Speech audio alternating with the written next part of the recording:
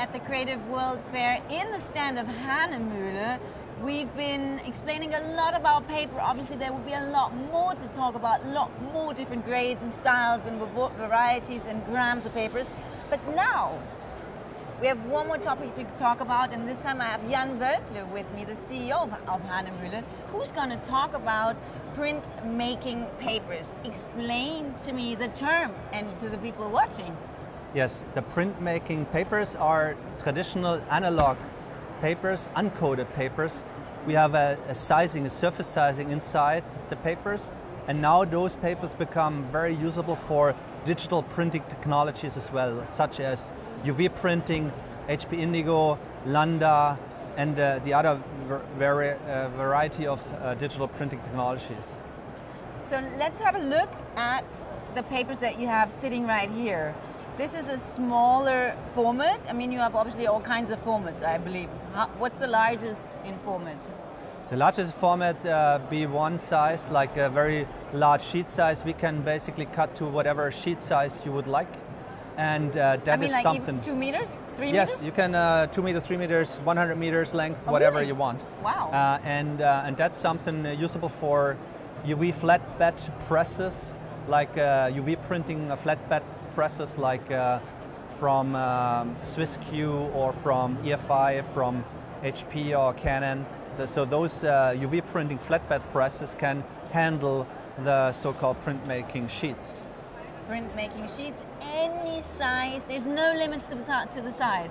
To the to the width, it, the width is uh, according to the width of our printing machine, but the length is uh, hundreds and thousands of meters according to the length of, of the uh, jumbo roll we call it. Jumbo roll, wow. And the machine, how big is, uh, I mean, would it be the, the height or the width or the depth? How would you call it? So we can uh, go up to uh, two meters wide meters. width, and uh, and the length typically it's up to up to uh, 2,000 meters, Wow. uh, depending on uh, on uh, thickness. Has that happened? What's the largest print that you... No, with the, the largest print we have uh, so far made is uh, is about 125 meters width and uh, and about uh, 10 meters length. 10 meters length, okay. So, um, Because you, excuse me, you, because you can also print on uh, reels, so you can put uh, not only the sheets, but you can also put the roll into a printing system, and then it prints, uh, let's say, onto on, onto the onto the roll. And rewinds continuously. ah, and uh, how about the different grams, thicknesses? Is there also all kinds of varieties? So the, the thickness we can uh, manage uh, typically from 40 GSM up to 1000 GSM, and 1000 GSM is already kind of a, a, uh, a carton, A carton. Uh, a pretty solid carton, Oh. which is uh, sometimes uh, sometimes actually used in UV printing. So you put your sheet or your carton or whatever substrate into a UV printing press, and uh, the, then you print on it with uh, UV inks.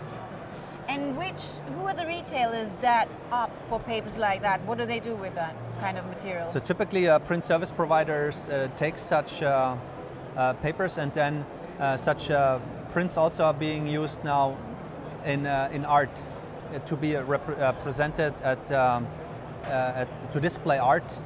Uh, but uh, to to replace that very quickly, it's not that high cost. Basically, the prints uh, on printmaking paper um, and unlike on fine art paper, which we typically have in digital, which is coated, and so it's more a kind of a more affordable way to to get uh, get started with fine art on uh, printmaking okay, paper. okay. So artists can draw on it yeah. because uncoated Yeah. or surface sized, or you can basically then um, use it in, in um, new printing technology systems. And then if you want to go to the extreme high end, super ultimate high end, you take highly uh, coated fine art paper, which be in, in water-based aqueous uh, printers. So those are the highest quality, but also very, um, very um, high-priced uh, system. But for super end high-end art, that's what you typically choose. But this is something more for the mid-range, I would call it, for the art reproduction. And space. is there? Um, I'm just trying to wrap my brain around it because it's something that it's completely new to me. I mean, being a kid growing up in the fashion industry, I know papers that are always like laced with something. So for the first time, I'm touching this. You can do analog printing or like. Um, what are the different techniques you can? analog printing as well. So we have just recently also published um, a book on uh, on hemp paper, uncoated hemp paper. You can print with offset presses on uncoated hemp, paper. Offset press. Uh, or you, that's a traditional uh, printing technology. But also, we just recently printed on uncoated hemp paper uh, a, a, book with a digital printing machine, and, and that's of course very um, very unique also in book printing. Yeah. Uh, those printmaking papers which are uncoated uh, are something for for also even book printing of applications.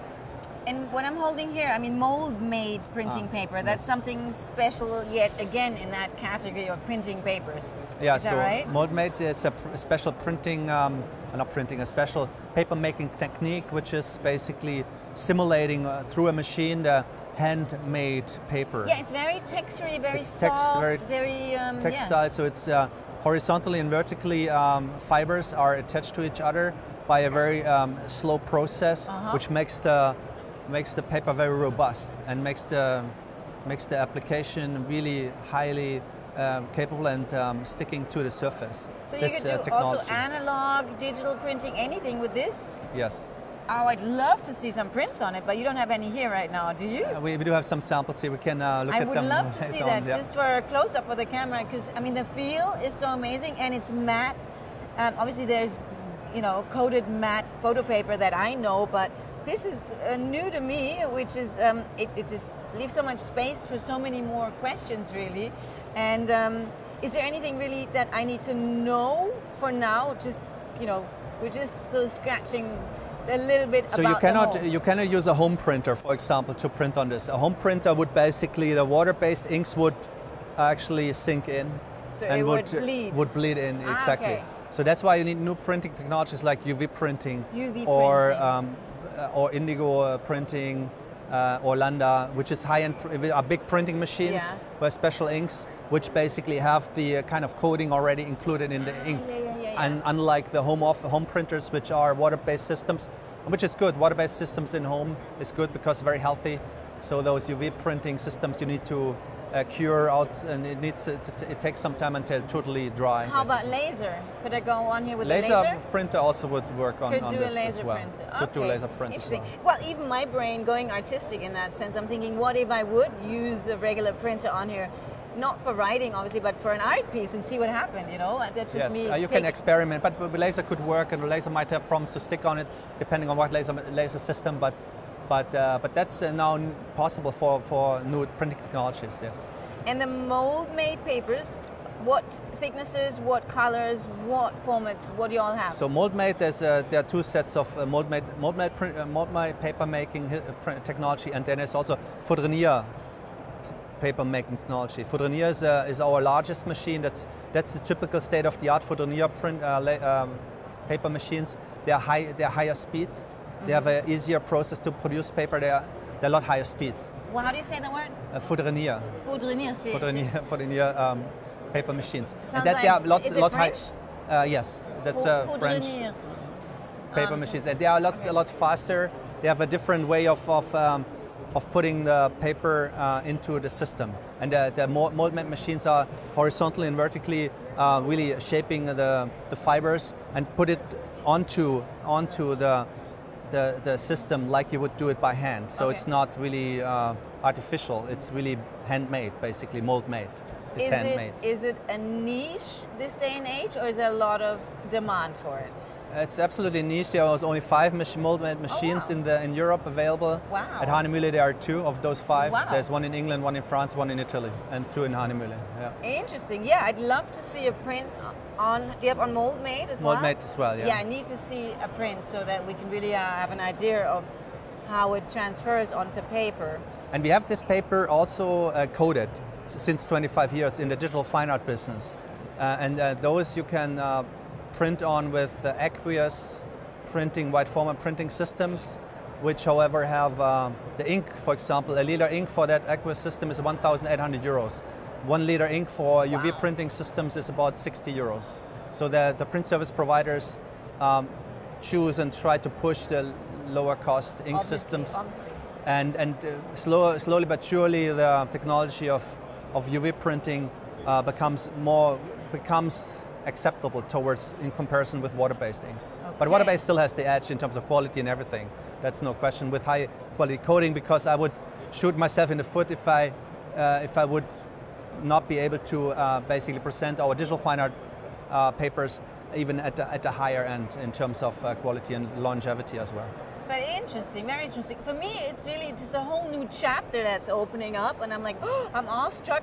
I want to see some prints on the mold-made Mold-made paper. paper. Yeah, let's maybe we get to see uh, some prints that you have here. Otherwise, that's to come. Um, anything you'd like to add? Yes, and we do have actually here very high and, uh, and w- wide format uh, samples at the wall, Oh, which yeah. you can look at later on. Uh, this is the size, for example, which you typically would use in a, in a offset sheet fed press or indigo press or a Landa press, for example, in, from a digital side.